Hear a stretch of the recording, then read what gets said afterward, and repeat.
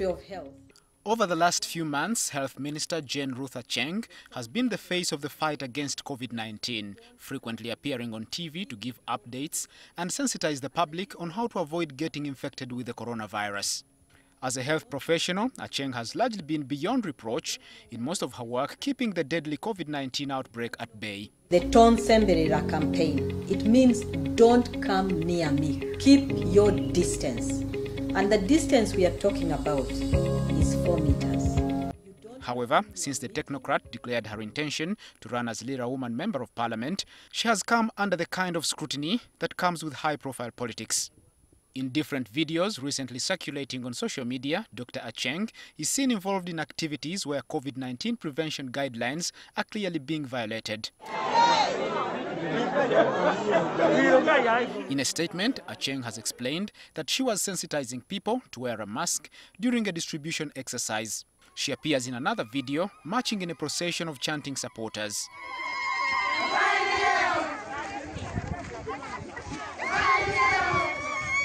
If we were in a different world, say in Europe, this minister should have resigned immediately. Because what she did is an embarrassment, not only to herself, but to the entire government.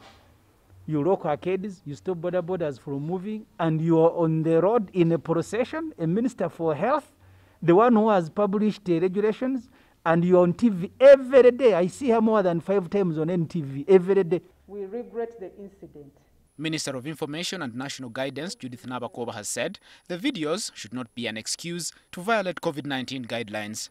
That should not be an excuse for Ugandans to use doctor as an example to abandon the guidelines put in place. It is a regrettable incident. But an apology may not be enough for some church leaders who have since called for government to open places of worship and other sectors of the economy. If we can risk for politics, bwe tuba tusobola okulisikinga olwa politics why can't we risk for God? lwaki tetwesula mu katyabaga lwa katonda If we can risk for money in Kikuubo, bwe tuba tusobola okwesula mu katyabaga olw'okufuna sente why can't we risk for God? We cannot teach without being examples ourselves. Teach people how to manage their lives. Chira Municipality MP Semujunganda, who is also opposition chief whip, says Acheng should resign. we are going to ask Jane Ruth Acheng to do the decent thing. If she made a mistake, the first thing it is to resign. If it is not a mistake for her to go and withdraw the regulations that she published that are in the Gazette, she has only two options. It is no longer health, it is politics. How do we curtail the opposition, take advantage of COVID, and we are the only ones campaigning? That's what they are doing. Semuju and other opposition politicians have in the recent days been arrested and their meetings blocked for allegedly flouting COVID-19 guidelines. There is no way you can arrest Semuju for holding a smaller meeting of FDC.